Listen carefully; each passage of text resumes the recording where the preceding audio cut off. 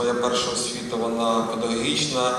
І якби я закінчив свою роботу в органах місцевого самоврядування чи закінчую, і мені здається, що та стезя, та стежка, якою б мені хотілося йти, це дійсно педагогічна стежка і робота з дітьми. Той невеликий проміжок часу, яким я був дотичний до цієї роботи, від, от, відклав мене на такі найприємніші враження з усіма своїми особливостями, про які ви знаєте. І ці особливості, звісно, щороку в той чи інший спосіб виражаються в заробітній платі, в тарифах, в чому завгодно.